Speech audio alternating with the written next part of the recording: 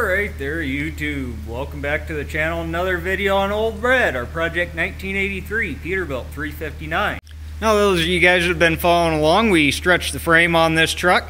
In order to add a steerable pusher axle on here, got another cross member that goes right here. I took that back off for the moment. Uh, just rough eyeballed three feet away with tape measure. I think that my rear brackets of my pusher axle are going to end up sharing some bolt holes with this cross member. And I think my airbag mount over here is going to end up somewhere right about here. So I just went ahead and I took that cross member back off for right now. And the first goal here is to pull this truck out of the shop. We're going to sweep up all the drill shavings and everything up off the floor because I'm probably going to be in, be rolling around on the floor quite a bit here. And then while the truck's outside, I'm going to try to take the skid steer and stick the pusher axle up underneath the truck, lift it up, and then try to chain it to the frame of the truck to hang it there. And then we can pull the truck back inside and uh, actually get to work on positioning it.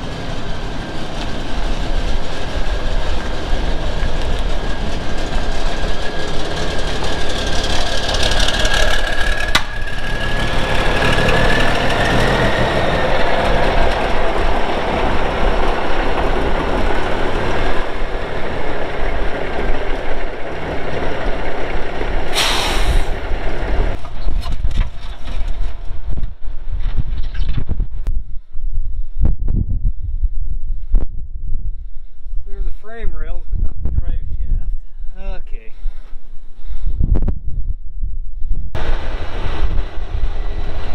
Alright, so it's under the truck here now. I had to unhook the drive shaft and jack the truck up to get everything under it, but I'm gonna go ahead and uh, get this thing hoisted up into place here now.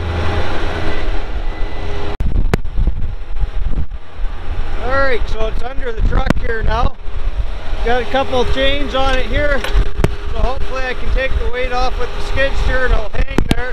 So I can get this thing pulled back inside where it's a little warmer and a little less windy.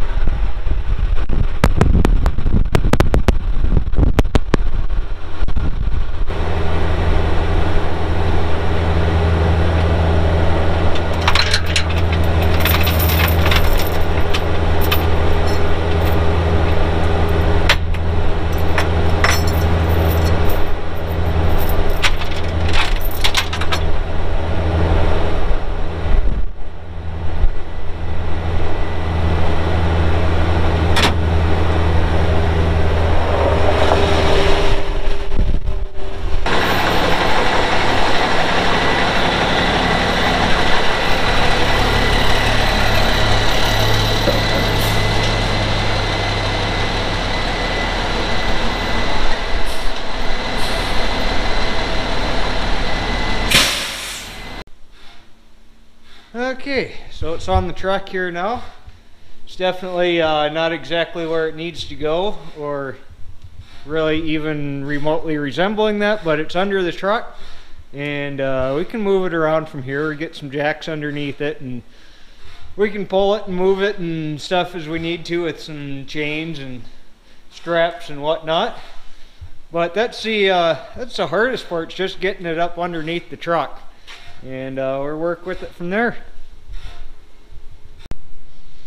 Okay, so we've got this pusher axle more or less in place here. This yellow line here is what I need to line this up to. But before I do that, you can see we've got a pretty good gap in here. There's a couple of frame width spacers in behind these bolts here that I got to take out. This is set up to work with uh, several different frame widths which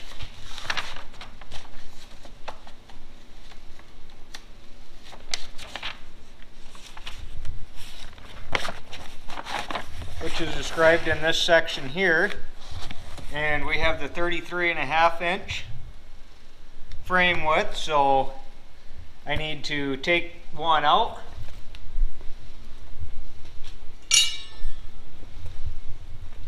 they're gonna look like this to do that I got to take these two bolts loose and take these two bolts loose and then I should be able to slide that out of there. There's one on each side.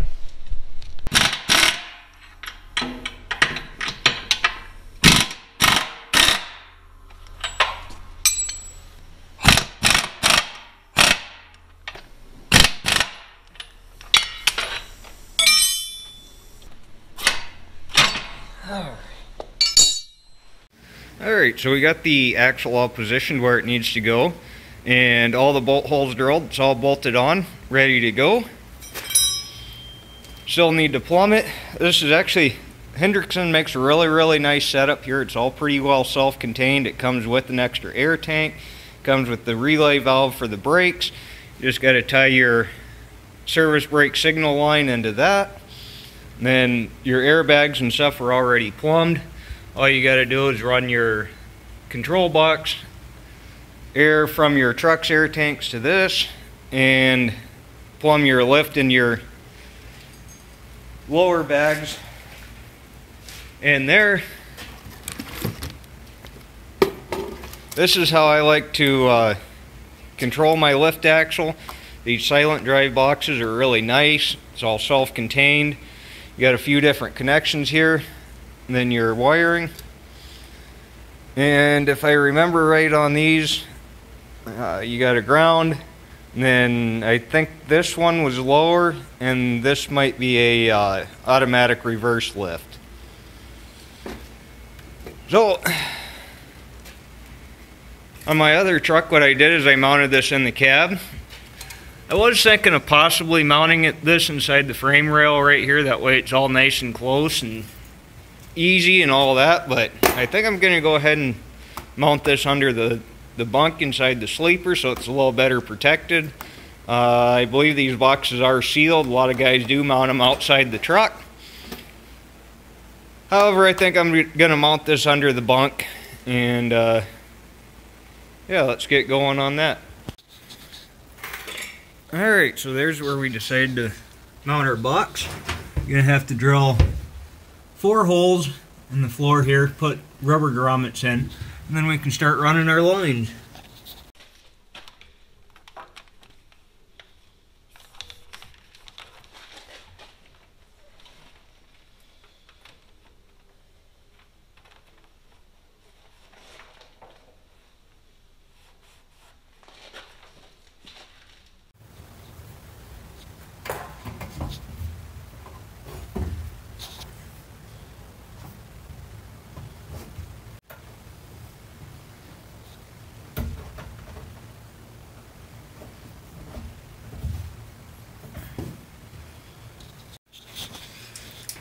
Okay, so that's our three air lines run. This one's our supply line.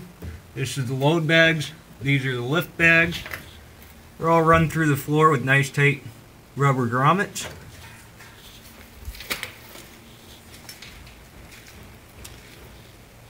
Got all of our air lines hooked up. We still need to zip tie everything, make it all nice and neat.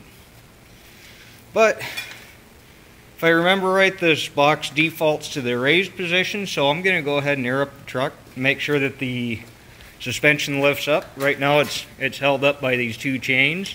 Alright, so the truck's aired up here. You can see that these chains are loose, so the axle is in fact holding itself up. Now we're going to take these wires here, just put power to them, make sure that it switches and does what it's supposed to.